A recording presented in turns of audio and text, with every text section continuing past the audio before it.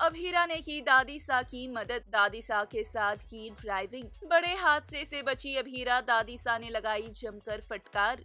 जी हाँ दरअसल हम बात कर रहे हैं स्टार प्लस शो ये रिश्ता क्या कहलाता है कि जिसका आने वाला एपिसोड काफ़ी ज़्यादा दिलचस्प होने वाला है। जहाँ शो के अपकमिंग ट्रैक में हम देखेंगे कि किस तरीके से अभीरा जैसे ही घर पहुँचती है, मनीषा अभीरा के हाथों में एक बड़ा काम सौंप देती है।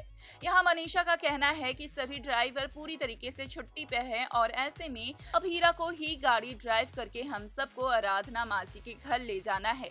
जहाँ पर दादी सा भी अभीरा की मदद लेने से इनकार नहीं कर पाती है और अभीरा दादी सा और घर की बाकी सभी लेडीज़ को लेकर निकल पड़ती है, जहाँ पे अभीरा की ड्राइविंग से दादी सा काफ़ी ज़्यादा परेशान है। तो वहीं अभीरा मनीषा के साथ में गाने लगाकर गाड़ी में झूमते हुए नज़र आती है। जिससे दादी सा काफ़ी ज़्यादा परेशान होती हैं और अभीरा को म्यूज़िक बंद करने के लिए कहती हैं। जहाँ अभीरा और दादी सा के बीच में बहस होने लग जाती है और इस बीच में अभीरा का ध्यान भटक जाता है, जिसकी वजह से अभीरा की गाड़ी कहीं ना कहीं लड़खड़ाने लग जाती है और किसी से लड़ जाती है।